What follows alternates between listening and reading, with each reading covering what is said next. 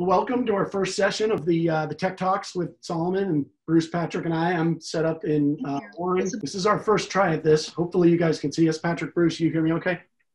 Yep. Right Sound good, loud and clear. But uh, as I mentioned, I'm in Warren. Uh, Bruce is in Jackson, New Hampshire, and Patrick's in Bow, New Hampshire. We're gonna. This is our first effort at this. We're gonna do a quick hit on a few key new products, and then open the room to question and answers.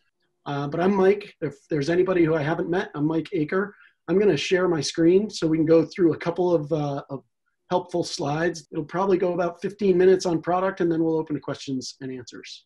This is the last day prior to Sugarbush closing last spring in March. And uh, I'm looking forward to that next day on snow, which is only about a month away now. Uh, all the resorts are talking about how they're going to open. So we're super psyched. And I think if you guys have seen the kind of traffic we're hearing about, the enthusiasm level is super high for customers already we're going to be doing digital asset uh, spreading through Instagram and Facebook of our own through our Tyrol Sports Group Instagram page and our Tyrol Sports Group Facebook pages. But in addition to that, Salomon has an Instagram um, account that they are regularly feeding info. And if you guys haven't signed up for that yet, sign up on your Instagram. It's Alpine Insider Salomon and that'll get you guys connected. So you're regularly getting some bite sized snippets from the product managers and from Salomon Sports Marketing, just some really good key product guide and tech info that'll help out. So that's the Instagram site on the Salomon side, just Alpine Insider Salomon. And it's a closed site. So you'll basically apply, they'll approve you, and uh, you'll start getting that information everything from product videos to product testimonials to tech info and all that with that, we're going to go through three key products today. This is a category that has been extremely popular uh, this, this summer and into the fall, obviously. Some people are calling it the insurance category. Uh, anyone who doesn't own gear that is capable of going uphill is considering it this season. And as you guys know, QST skis, Shift MNC bindings, and the new Shift Pro boot are super complementary gear. So Patrick's going to spend a few minutes on QST. Bruce is going to cover the bindings and I'll cover boots, and then we'll open up to questions. Thanks, Mike. Patrick here, coming from Tyrol Sports Group's Bow headquarters slash service center slash warehouse. Talk about the QST skis. Uh, it's a little bit of a review for probably for a lot of you folks, but uh, it's important. And this slide is is pretty neat because it kind of shows Salomon's approach to the free ride category where other brands don't take the same approach. And they they look at it from a material standpoint. And the QST skis show that uh, that different approach by using CFX uh, cork damplifier and a construction that basically keeps it lightweight. So it works really well for the uphill capabilities if you want to put a, a shift binding that's on the uh, on the ski or use it for skiing on groomers and have that power and control for hard snow conditions like we have here in New England. So you can kind of see here on the little demo tool here, if I'm on the on the small screen, you can see that cork damplifier encased in an ABS frame that's in the in the front. So the cork damplifier is uh, basically sort of a hybrid of a silicone elastomer and also corked to keep to control that vibration on that rocker tip. And then the CFX runs down a channel that's embedded into the core of the V uh, the V poplar core that gives it the, the stability and the um, of metal, but without the extended weight, and also gives it pop and spring for those free rides. So really the QST category, whether you're looking at the double rocket versions and the, the 118 and the 106, you know, for the slarving and schlarping your turns in soft and wet snow, um, or the more versatile 99 and 92s, they all share this construction. And really everything from groomers to skiing sloppy bumps to thrashing around in the woods and a nice lightweight uphill capability. QST is your answer for that. Women skis use the exact same construction as the men. There's no difference, not even in mounting points. Uh, to give you know the ladies that are just as hard chargers and just as ripper, much rippers as men, the same sort of uh, power and control. And that's it from the warehouse. Cool. So Bruce is going to take you through shift bindings and uh, he is set up in his workshop over in Jackson, New Hampshire. We'll let Bruce take you through the workshop. Hey everyone. So just a, uh, a bit of a, of a, review on the shift binding. Um, this is obviously it's not a, uh, a new model, but there are two new versions of the shift this year. Um, one is the Shift 10. So now you're not just locked in for the 6 to 13 uh, range. Now you've got a 4 to 10 range with the Shift 10 as well, which is obviously better for your lighter weight skiers um, and for some of your uh, teenager or young kids that are going to fit better into that weight range. So as you see the shift binding here, one of the things that I like to talk about always is from a skiing perspective. You know, this is a 5355 boot that I'm stepping into the binding here right now. I can ski in any type of boot that I want. The shift is an MNC binding, meaning multiple norm certified. So therefore, if it's a 5355 boot like this, or a 9523 boot like this one, okay, both work perfectly fine in the binding for skiing downhill. When I want to go uphill, I'm going to need a 9523 or a grip or a grip lock boot, which is also 9523 now with tech inserts in it. So as you're showing the binding to a consumer, you want to be able to go through all of the features and how to operate the binding as you're talking to them about how to use it. Because, you know, as we've seen, um, as this binding has grown in incredible popularity, um, there still is some confusion on how to operate this thing. And I think the more often that a consumer can hear someone who knows what they're doing with it explain it to them, um, it will be a better experience for everybody in the end. So I'm just going to run you through it one time uh, quickly. I get to the top of my, um, or I'm getting ready to go skin uphill. Okay, the first thing that I want to do is pull this lever back that's in between the toe wings here. And the best way to do it if you're showing it to someone in your store is to just use your thumb, pull it back this way, and you're going to open up these toe wings. And then this lever now controls uh, pretty much everything that's going on with the binding as I'm going to be ascending with it. Connect into the boot uh, this way with the uh, pins on the toe. And then to lock up the brake, this is important. And I, I really think that this is something that you should be explaining to people every single time you're showing this binding. My recommendation for this is to do this with your hands. This is set up so if I throw this first of two levers here up into this position here, the best thing that you can do, and this is easy when you're when you're out skiing because you're going to have gloves on, is to just grab the arm of the brake here and pull it up and make sure that this piece is locked down. It's set up so I could, yeah, I could flip it up that way and I could jam down on it with my boot to lock it up. Um, but these are really lightweight composite materials and this is a $600 binding. I really like to stress to people, hey, you know what? The more gentle you are with the binding, the longer it's going to last. Um, so in this position here, I got about four degrees of lift in the heel. So it's really great for your approaches and your, and your lower angle um, grades. And then you've got this bail that you can flip up with your, uh, with your ski pole. Using the grip is the best way. And that'll get you onto your, up to the point where the pitch is steep enough that the skins won't grip anymore. Okay. On the toe piece here, you've got three positions of adjustment. Okay, so you have, when you first step into it, it's actually fairly loose. And if somebody is going to be on this thing, you can twist right out of it very easy, like I just did right there. Okay, and then in the middle position um, gives you a little bit more force, and then you can put it all the way up into the, the uh, what we would consider a locked position. It's about a DIN of 12. Um, and that will get you a very, very secure position where you're not going to twist out of that binding while going uphill. Okay, so I go up, I've done my scan, I'm getting ready to go ski. I'm going to put the lever all the way down. I'm going to push it down, step back out of the, of the binding this way. I'll pull this lever back up, which will lock the toe wings in place. This is very important now that I have this lever locked down and connected this way, okay? You cannot ski in this binding unless that, that lever, well, let me rephrase that. You cannot ski safely in this binding without this lever locked all the way down, okay? Then I'm gonna flip my bail back down. And here again, with this, uh, with this piece for uh, locking your brake up, again, I'll just use my finger and flip that down this way. Then I can step into the binding and go skiing and you're all set. So that's the uh, that's the demonstration. Pretty slick setup. Um, this screen just shows you some of the highlights of the binding. For those of you guys that have been working with it for a couple of years, you're probably super familiar with all the features and how to cycle and function the shift binding. Um, but a couple of things of note is it does have the level of elastic travel or shock absorption of a true alpine performance binding. So really good alpine shock absorption higher in elastic travel even than a lot of alpine bindings um, with that uphill touring function. And it's an 865 gram binding thanks to the carbon injected construction MNC. Bruce said a couple of different models in uh, 10 DIN and a 13 DIN, and we even have some color options this year. So that's a snapshot of the entire range of backcountry capable bindings, S-Lab Shift 13 and 10. And also we do have the tech binding, the Mountain Pure, which is a minimalist pure tech uphill binding. Um, and the Guardian MNC is still in the line as well. So moving on to the newest product for tonight, which is the Shift Pro boot.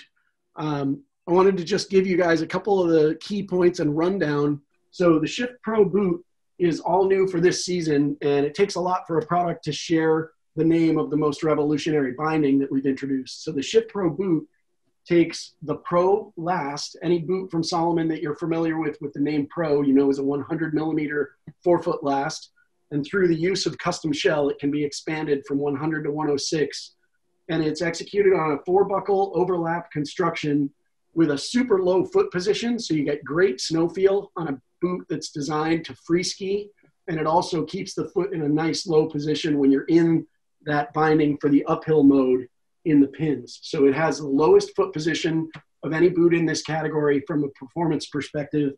Uh, traditional four buckle appearance, but one of the unique things on the Shift Pro is the hiking mechanism that's called Sherlock. So on the back of the boot, there's a horizontally oriented lever that will lock or unlike the upper cuff from the lower shell, and it allows the boot to really easily hinge fore and aft for the walking, uh, for the hiking movement. Uh, one other thing about that Sherlock mechanism, I don't know if you can see inside the boot here, but if you get one off the shelf in the store, when you put it into walk mode, you'll see a black spoiler that when the boot is in the walk mode, you can feel it hinge fore and aft. When the boot's locked in the ski position, that spoiler nests on the lower shell of the boot and it reinforces the lateral rigidity of the back of the cuff of the boot. So it makes the boot ski as well downhill as is possible without being a full rigid cuffed four buckle lower shell. So that's the, the hike and ride mechanism and the custom shell HD. We also use the core frame, that insert of carbon fiber, uh, carbon infused material composite that wraps the cockpit of the boot to really give the boot great lateral performance while minimizing the weight. And then you're probably familiar with the all seamless liners that we've introduced. We introduced originally in the S Max boots, brought them into S Pro, and now they're in the Shift Pro, adapted with a hinge mechanism built into the fabric on the back. So when the boot is in its walking position or its hiking position, the boot just has a super free, very relaxed rearward flexing motion it's extremely comfortable when you're in the skin track. So that is the uh, the Shift Pro from a product key point perspective. So and that's I'm just going to share this back the and show you Pro a couple more slides of in a 130, imagery, a 120 and, and a 100. We'll, uh, we'll open up to the, the Shift questions. Pro and women's is available in a 110 and a 90.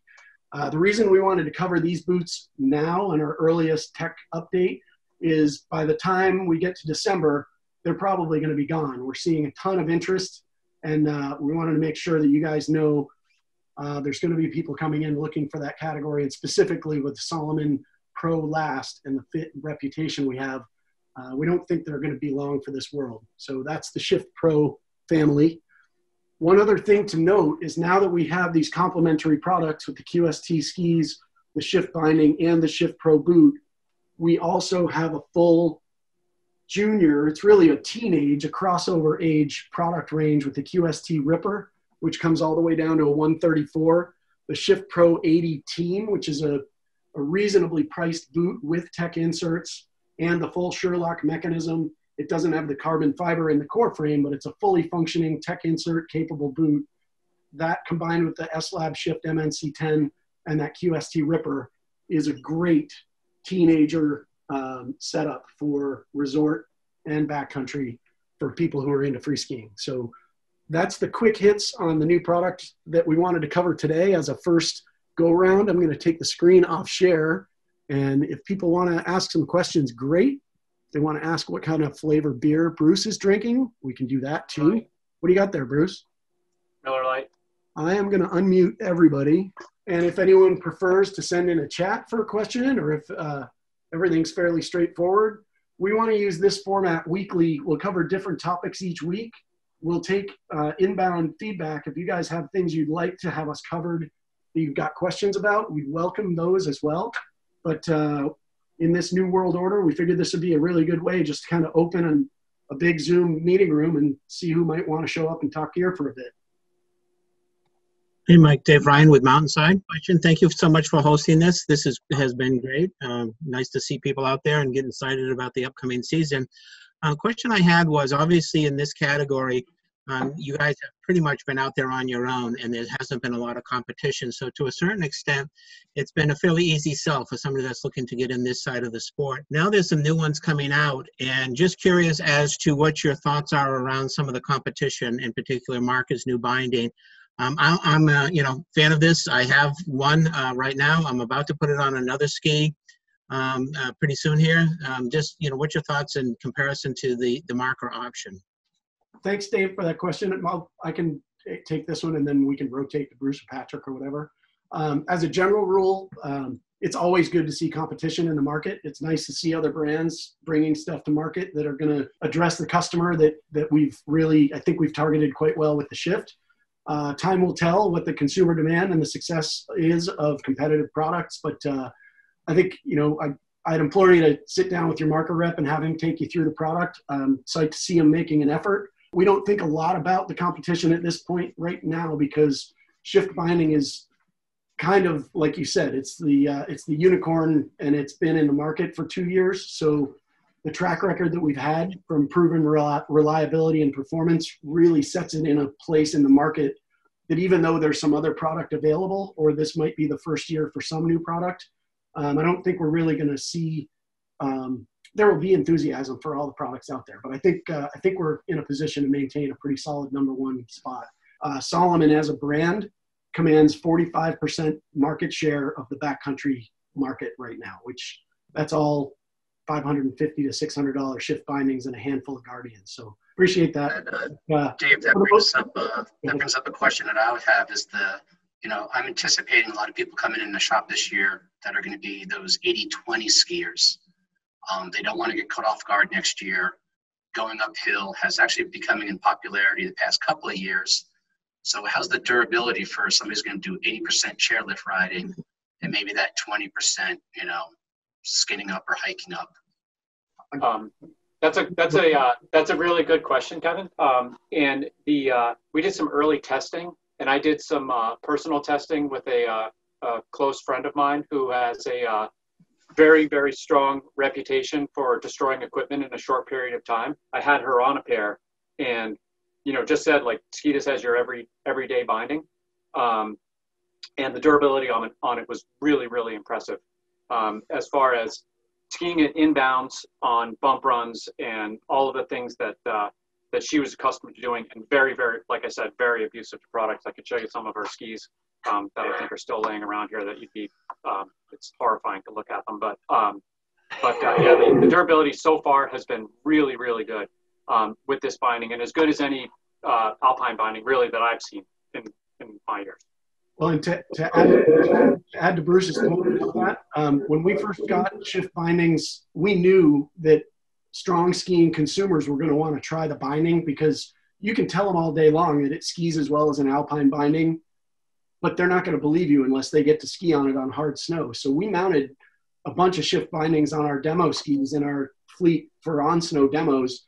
And it's not technically designed to be a demo binding. It's a retail binding.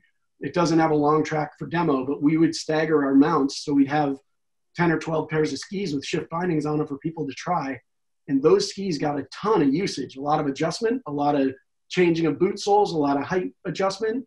Um, and even with all that change for setup for demo purposes, um, I haven't seen any breakage. I've I've stripped a couple of screw heads because I was, you know, pilot error with the screw shooter when adjusting the binding. Um, but the question is a really valid one, and one thing that it leads to this is seven years of R&D went into the shift binding. So there were prototypes being skied on by Salomon athletes and our sister brand athletes for that matter for several years prior to the binding coming to market. So by the time we hit market, they already had several years of long-term durability testing. And you know, anything can happen. And you guys know in the cold environment of skiing, anything will.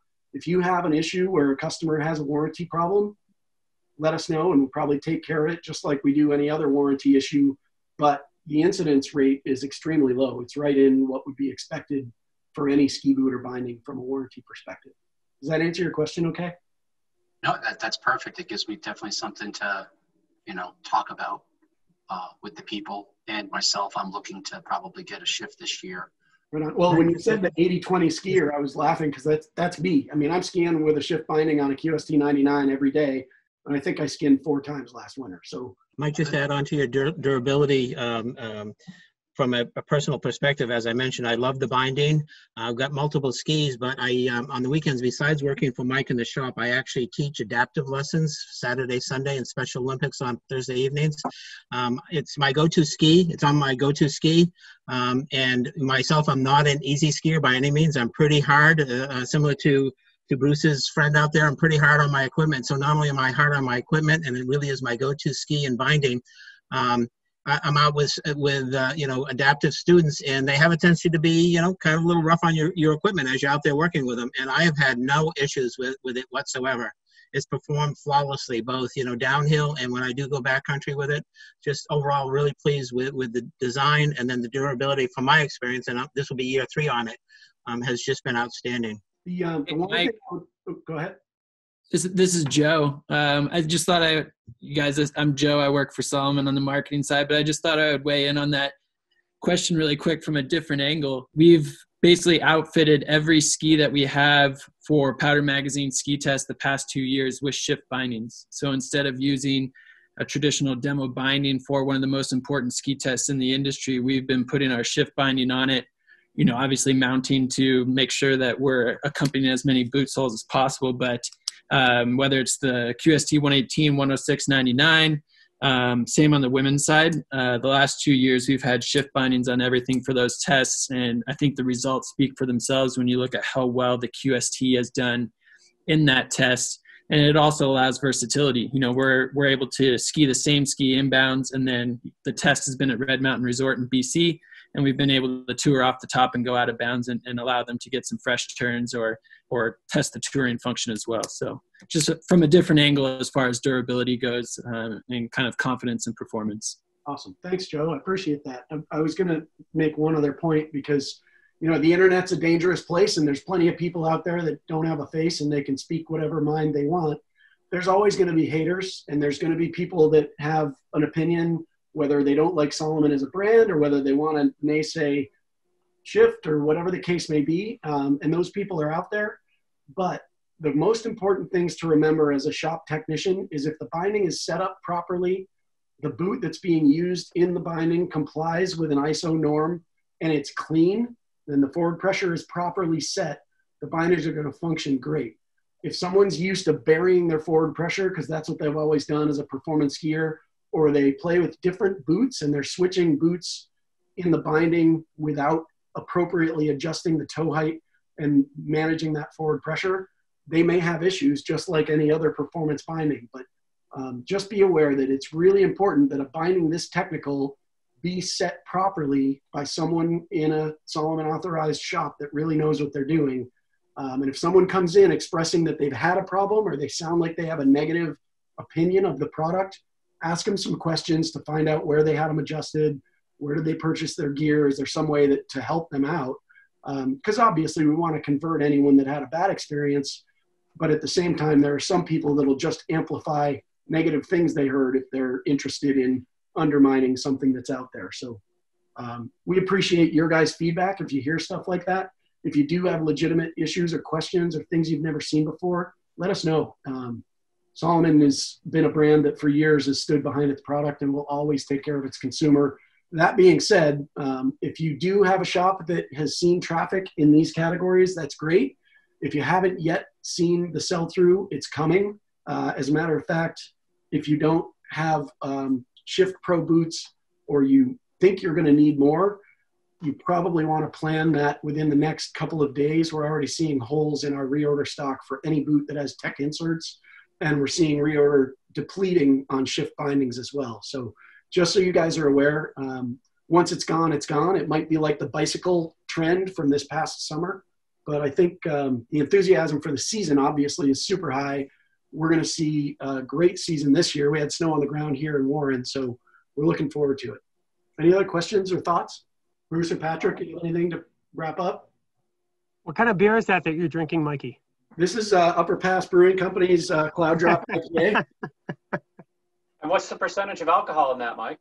It's not small. I think this is uh, eight, 8.0 actually. Um, Wow.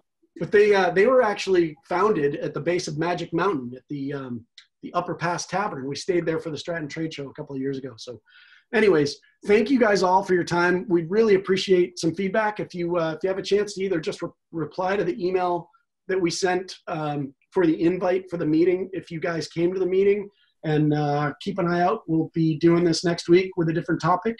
And if you have any ideas or thoughts, let us know. Thank you very much. Fantastic, Thanks, Mike. guys. Thanks. Thanks, Take everybody. care, guys. See you next week. Excellent.